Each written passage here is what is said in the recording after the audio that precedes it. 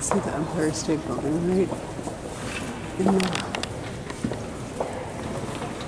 window.